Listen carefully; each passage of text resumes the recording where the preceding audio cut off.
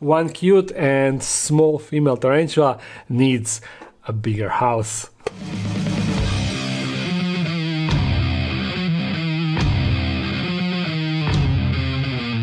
And you might remember this one from some past videos because this is the tarantula that got almost like a heart shape on its abdomen. So it is it is a super cute little father. but before we get her out, let me show you one another thing. Another super cool thing. You see, this this is a vampire crab and even though it looks like the crab is yelling something this is just the empty shell of the crab the actual crab actually managed to pull himself outside you see this is why the the shell is open this is not the come on camera this is how they break their shell in order to get outside of their old shell. And just like tarantulas, uh, the crabs, they got the exoskeleton, the, the strong exoskeleton that doesn't grow. So therefore, in order to grow and get bigger, they grow another shell within the old shell and that new shell is actually bigger but it is compressed and it is soft so once they pull themselves outside of the old shell then that new shell it expands and hardens. So just like tarantulas, they are super fragile and super vulnerable after the molt. Unfortunately, I didn't. This is the second shell that I found in the in their enclosure, but so far I didn't spot the crab actually molting and that would be a cool thing to record although since they are nocturnal and really they are hiding all the time i'm not really sure if i will be ever uh, able to spot that oh would you look at that the female is actually curious. She's wondering where did her roof go and is investigating it now.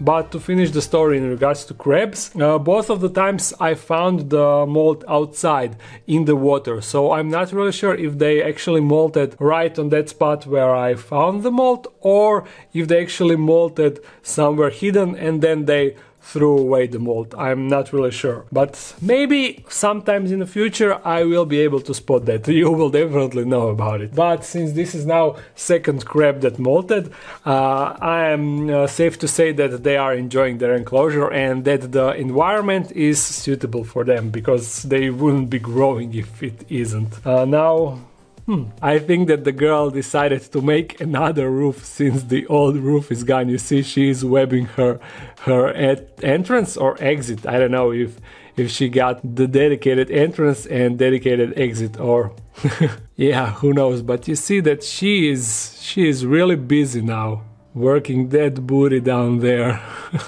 but I'm going to need to poke her outside because in order to rehouse her, we need to get her out, yeah? So hopefully she won't mind that a lot. Hmm, ketchup, because she can be fast. And let's go.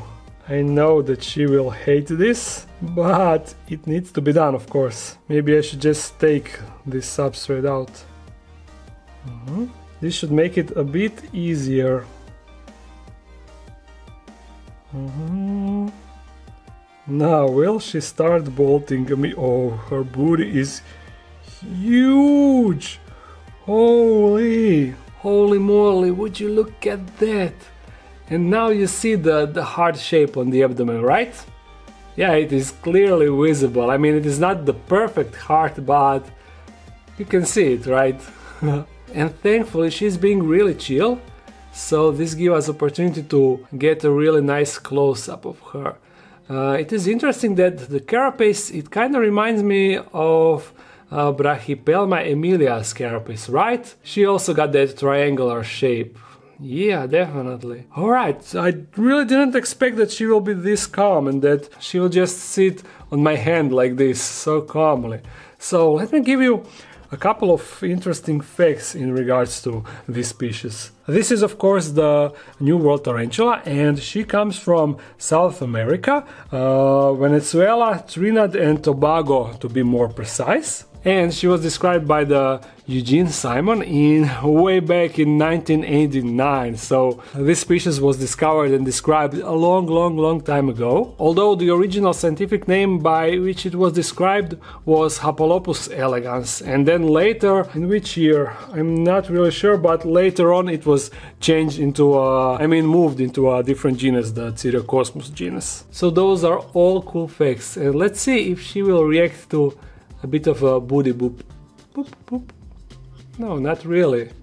She's being like super passive, which is interesting. Hmm. I'm going to put her down and then I will snap a couple of high quality pictures. Then we will quickly set up her new enclosure and then of course we are going to move her inside. Come on girl, go down. Oh, whoa, whoa, whoa, whoa, whoa, whoa, whoa. Now she decides that she needs to bolt. No, hey. Please girl, I need to take a couple of pictures first. I waited too long, but maybe I'll be lucky. Ah, no, you see, she is now being super active. Come on girl, I need you to chill for just another minute. Just one more minute, please.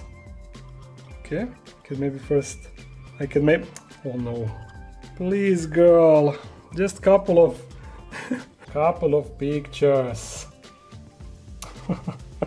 Damn. I'm gonna wait for her to chill down a bit. Okay, I think that I have enough. this is actually something that I would like to start doing from now on.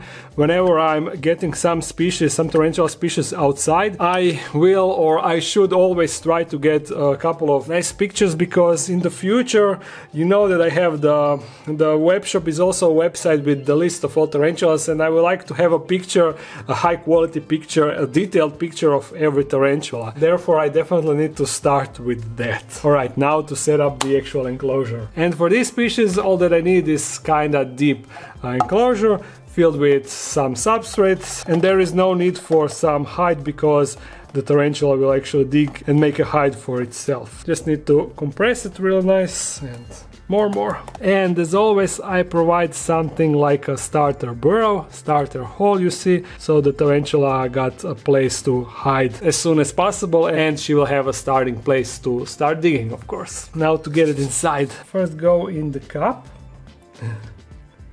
but she's so cute, look at her go. Beep, beep, beep, beep, beep, beep. Now she can go in her new enclosure. No. Already out. Come on. Go there and stay there. No. Did she stop? No, not really.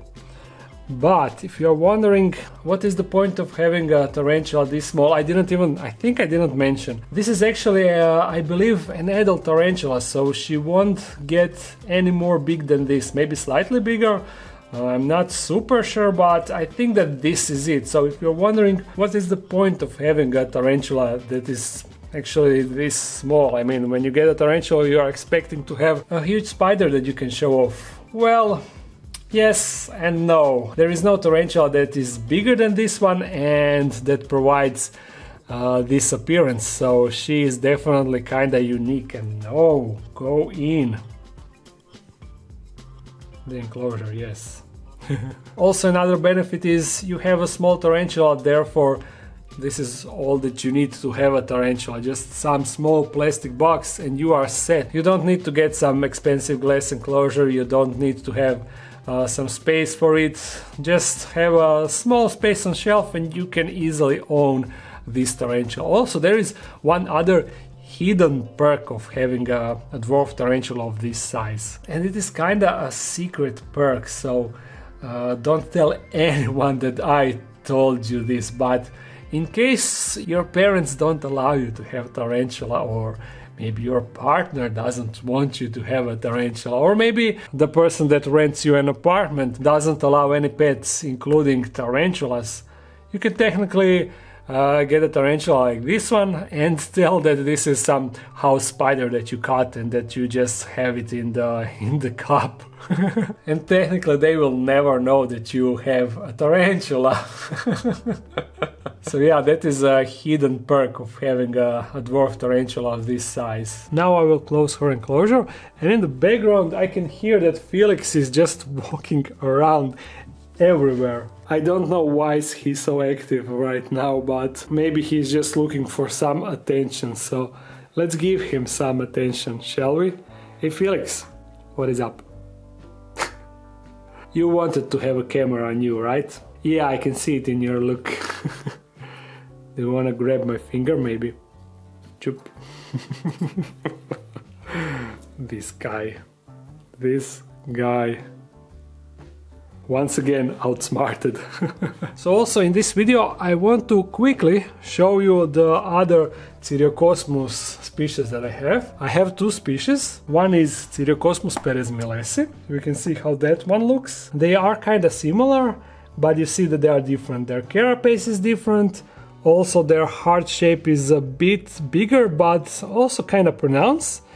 And the abdomen is kind of similar, I don't know. They actually look a little bit brighter than Cyriocosmus elegans. So that is one species that I have. And the other one, mm, I hope that this one will not hide, although it is not outside. Maybe I will be able to lure her out. And that one is called Cyriocosmus giganteus. And the reason why they are called uh, like that, you know that giganteus, it is Latin name something like giant, most likely, I assume. So the fun fact about this species is that the actual males from this species are the biggest from all the Cyriocosmus genus. So that is why uh, they got the name Giganteus. And they are, they are kind of recently discovered species. Let's see if I can get it on the open. Oh, it actually Oh no! But I guess you could see it briefly. Oh, is it coming outside? Oh, it seems like it. Come on, little buddy, go out and investigate. What was that? Maybe it was a roach that is actually hurt outside. Go, go and check it out. uh, but if he doesn't come out, what I have in plan uh, next video, you know, it is a feeding video, and I will be feeding all of my dwarf tarantula species. I don't think that I have a lot of them. I will actually need to re-evaluate the list. I'm not really sure which are all the species that are classified as dwarf because there are some bigger dwarfs and some smaller dwarfs. So I will need to check that out. But I will be featuring all of them in a single feeding video. Mm -hmm. Maybe we can see it through the plastic. Yeah, kinda. You see it is similarly looking like the other Cyriocosmus. It also got somewhat of a hard shape on the abdomen, but if I'm seeing correctly, it doesn't have the stripes on the carapace, so that is a clearly visible difference from the other Cyriocosmus. If that's the case, I'm not really sure because uh, we don't have a clear, clear sight at her. Okay, okay. That is all in regards to tarantulas, but before we end the video, I have one thing that I want to mention. You maybe remember when I mentioned uh, in one of my videos I mentioned Andrew Smith. He is the guy that is he is a scientist and he described a bunch of tarantula species that a lot of you are keeping at home. And I did a video where I actually showed all the tarantula species that I have that were described by him. Anyhow, he he is doing uh, tarantula documentaries, like a real real documentaries, and he's currently running a campaign on Kickstarter where he's raising funds to finance uh, a new documentary that he plans to do about King Baboon tarantula. You know King Baboon, the what is the scientific name? Pel, Peli, Pelino, Pelinobius muticus. Yes, that's the one. So if you like watching documentaries, like uh, real documentaries made by a real spider scientist, unlike me, who is just a, a hobbyist and enthusiast, I will link the Kickstarter page in the description so you can go and check it out and see if it is worth supporting, of course. Yeah, that is all that I wanted to say. And that is everything for this video. So I hope that you enjoyed it. If you did, thumbs it up and comment something. If you want to support this channel more, there's a Patreon page. If you're new to the channel, make sure to subscribe. I upload every Monday and Fridays. So see you again soon. Bye.